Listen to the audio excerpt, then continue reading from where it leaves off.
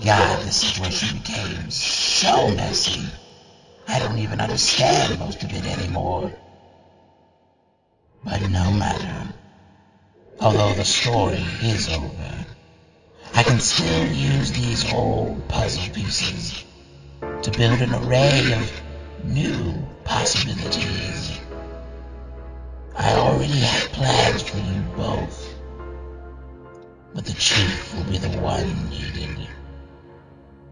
I can't have him simply keep running around. He needs to stay grounded somewhere. Their story may be over, but that doesn't mean worlds can't collide. One last time. To keep the ball rolling a little longer. Right. Don't worry, Chief. What's coming for you is already on its way.